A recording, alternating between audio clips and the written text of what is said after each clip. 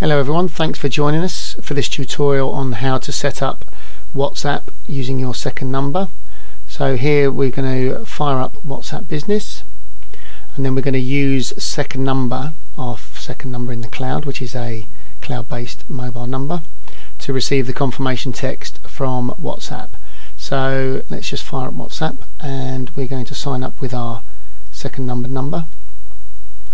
A few seconds to start. Okay. And what we're going to do is we're going to enter our number here. So remember this is a second number which doesn't need a SIM card. And it basically just runs through the cloud. Uh, so it helps you set up a second WhatsApp account for example this WhatsApp business account. So let's just wait for that to connect. Confirm that. Is that okay? Yes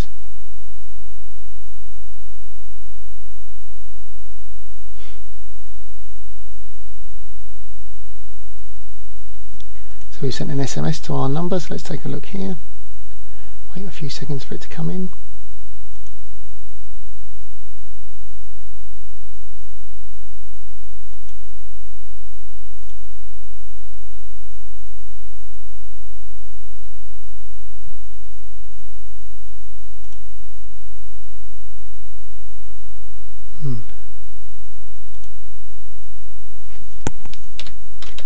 Enter this verification code. This is new. Let me just see.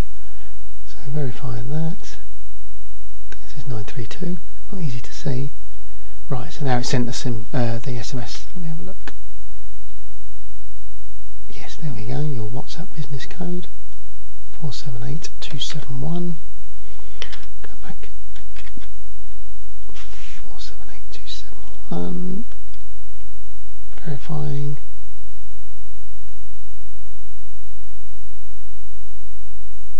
Verification complete and we're done. So that's our uh, WhatsApp set up. Just skip that. Don't want to do a backup. So business name.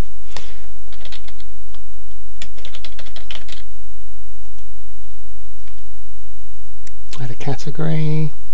All this you can do in your own time. Other business just select that. Next